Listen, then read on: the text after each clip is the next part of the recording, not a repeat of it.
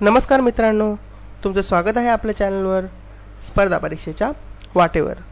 मित्रांनो आज आपण पाहणार आहोत हिमालयाची ओळख भाग एक. भाग एक तर चला पाहूया. मित्रांनो या व्हिडिओमध्ये आपण आज पाहणार आहोत हिमालयामधील पर्वत श्रेण्या व त्याबद्दल काही माहिती. मित्रांनो मागच्या वेळी आपण हिमालयाबद्दल थोडी माहिती पाहिली होती. पण त्यामध्ये एक गोष्ट राहून गेली होती की हिमालयाचा विस्तार हा कुठून कुठपर्यंत आहे? ठीक आहे? तर ते राहिलेले आपण या व्हिडिओमध्ये पाहणार आहोत. तर चला पाहूयात. हिमालय या पर्वताच्या एकूण चार श्रेण्या आहेत. त्यामध्ये भारताच्या उत्तरेला म्हणजेच जम्मू काश्मीरमध्ये ट्रान्स हिमालय आहे. त्याचप्रमाणे त्याच्या खालोखाल वृद वृहद हिमालय त्यानंतर लघु हिमालय त्यानंतर शिवालिक हिमालय. ह्या अशा चार श्रेण्या आहेत. ठीक आहे? तर कुठल्या चार श्रेण्या? ट्रान्स हिमालय वृहद हिमालय लघु हिमालय आणि शिवालिक हिमालय अशा चार श्रेण्या आहेत. ठीक आहे? त्यातील आपण या व्हिडिओमध्ये दोन श्रेण्या पाहणार आहोत.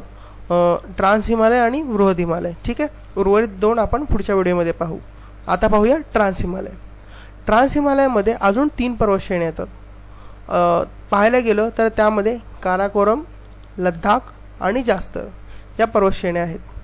पाहिलं तर अनुक्रम अनुक्रमे काराकोरम आणि लद्दाखमध्ये शोक नदी आहे आणि लद्दाख आणि जास्त यांच्यामध्ये सिंधू नदी आहे.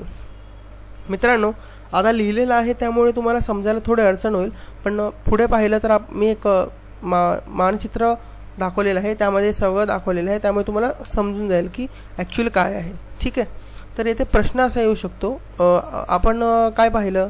ते एक ट्रान्स हिमालय आहे त्यामुळे तीन पर्वत श्रेणी आहेत. ठीक आहे? त्या तीन पर्वतश्रेण्या कुठल्या आहेत? काराकोरम लद्दाख आणि जास्तर. ठीक आहे? तर काराकोरम आणि लद्दाख या पर्वत मध्ये कुठली नदी वाहते? तर शोक नदी वाहते. ठीक आहे? त्यानंतर लद्दाख आणि जास्तर यांच्यामध्ये कुठली नदी वाहते? तर सिंधू नदी वाहते. ठीक आहे?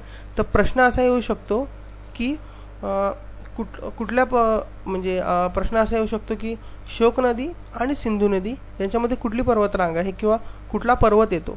ठीक आहे? तर आपण असं लगेच म्हटलं पाहिजे की लद्दाख हा लद्दाख हा पर्व पर्वत येतो. तर असे प्रश्न ट्रिकी प्रश्न येऊ शकतात. किंवा असा पण प्रश्न येऊ शकतो की काराकोरम आणि लद्दाख यांच्यामध्ये कुठली नदी वाहते? तर शोक नदी वाहते. किंवा असा येऊ शकतो की लद्दाख आणि जास्त यांच्यामध्ये कुठली नदी वाहते? तर सिंधू नदी वाहते. असे प्रश्न येऊ शकतात. तर चला पुढे पाहूया. ट्रान्स हिमालयामध्ये एकूण चार हिमनद्या आहेत. त्यांची नावं आहेत सियाचिन हिस्पर बियाफो आणि बाल्टोरा. ह्या चार हिमनद्या आहेत ट्रान्स हिमालयामध्ये. तर आपण पाहायला तर आपण पाहायला गेलो तर हे बघा. हा एक सगळ्यात तळाला आहे शिवालिक हिमालय त्यामध्ये आहे लघु हिमालय किंवा मध्य हिमालय आणि त्याच्यावर वृहद हिमालय आहे. आपण मागच्या व्हिडिओमध्ये पाहिलेलं आहे की हिमालयाची निर्मिती कशी झाली. ठीक आहे? तर मित्रांनो जो जगातील सगळ्यात उंच पर्वत आहे तो कुठला आहे? ॲव्हरेस्ट ठीक आहे? तर जगातील जे दहा सगळ्यात उंच पर्वत आहेत ते ह्या बृहद हिमालयाच्या श्रेणीवर येतात. आपण जर पाहायला गेलो तर सगळ्यात उंचीवर हा बृहद हिमालय आहे. त्यामुळेच जगातील सगळ्यात जे म्हणजे जे येथे जे पर्वत आहेत ते जगातील सगळ्यात उंच पर्वत आहेत. उंचीने आपण जर पाहायला गेलो तर. ठीक आहे? तर आपण इथे पाहिलेलं आहे बृहद हिमालय लघु किंवा मध्य हिमालय आणि त्याचप्रमाणे शिवालिक हिमालय. तर चला पुढे जाऊयात. तर हे आहे ते मानचित्र. ठीक आहे. तर आपण पाहायला गेलो तर तिथं आपण जम्मू काश्मीरमध्ये पाहू शकतो भारताच्या उत्तर दिशेला काराकोरम लद्दाख आणि जास्तर. या तीन नारंगी रंगाने दाखवलेल्या आहेत पर्वत श्रेण्या. तर काराकोरम आणि लद्दाख यांच्यामधून कुठली नदी जाते? तर शोक नदी जाते. ठीक आहे. त्यानंतर लद्दाख आणि जास्तर यांच्यामधून सिंधू नदी जाते. ठीक आहे. हे आपण पाहून घेतलं. हे समजलं. त्यानंतर भारतातील सगळ्यात उंच पर्वत कुठला? हा प्रश्न आला तर कांगचेनजुंगा ठीक आहे? तो सिक्कीममध्ये येतो. हे बघा इथे दाखवलेला आहे. कांगचेनजुंगा हा जगातील सगळ्यात तिसरा उंच पर्वत आहे.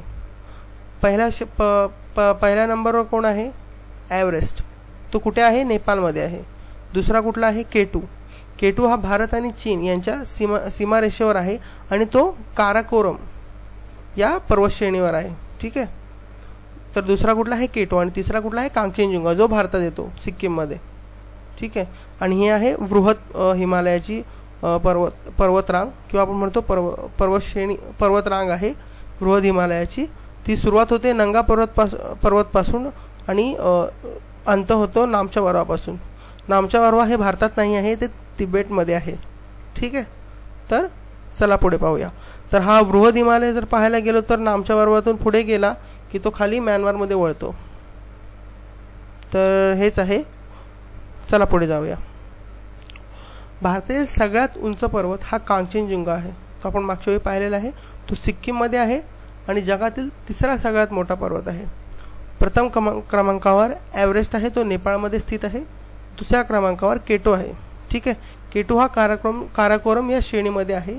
आणि तो पाकिस्तान चीन यांच्या सीमेवर आहे. म्हणजे तो आपण पाहायला गेलो तर पाकिस्तान व्याप्त काश्मीर या ठिकाणी येतो. ठीक आहे? तर जगातील सगळ्यात तीव्र उतार असणारं शिखर म्हणजे राकापोशी शिखर. ठीक आहे? हे राकापोशी शिखर हे लद्दाख श्रेणीवर येते. ठीक आहे? ट्रान्स हिमालय हा नेहमी हिमाच्छादितच असतो. त्यामुळे तिथे कोणतीही वनस्पती निर्माण होत नाही किंवा उगत नाही.